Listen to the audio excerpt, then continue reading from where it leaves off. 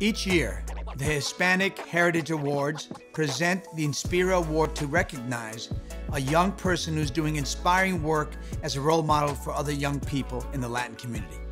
And this year's awardee is defying media expectations of what it means to be bicultural, bilingual, and even bisexual, and showing all of us that our Latinidad is complex, and that complexity is what makes it beautiful. Let's meet our 2021 Inspira awardee, Kali Uchis. I feel like when I was growing up, I definitely would have loved to have somebody like me to look up to. Nicknamed Kali Uchis by her father, Karly Marina Loaiza grew up between her birthplace in Virginia and her father's hometown of Pereira, Colombia.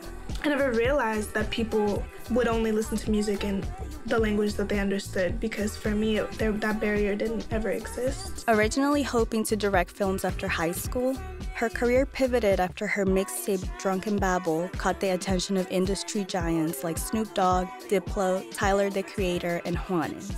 And after a Grammy nomination in 2018 and a critically praised first album, it was her collaboration with producer Kaytranada on the song 10% that earned Uchis her first Grammy Gold earlier this year. But Uchis reached global prominence when her song Telepatia went viral on social media, earning millions of daily streams for the song and for her second studio album, Sin Miedo del Amor y Otros Demonios, her first album sung almost entirely in Spanish. The album's runaway success continues to defy Latin and mainstream American music industry expectations. I'm very much an artist that I believe that ambition should be an afterthought when you're creating. Everyone around me told me this was not going to be a good idea. Um, Latin artists are trying to move into the American market and sing songs in English. Why would you go? That's going backwards in your career. A lot of people told me, you know, all of the accolades that came later just make me even more proud to be able to open um, to be able to open doors for other Latin artists or other bicultural artists in general who might be afraid to, to take that leap. In addition to being bicultural, Uchis is openly bisexual, paving the way for queer people in Spanish language music. I've never hidden my sexuality, but it was really special and important for me to make a music video that highlight highlighted it because I felt that no one else had ever done it, especially not for a song in Spanish.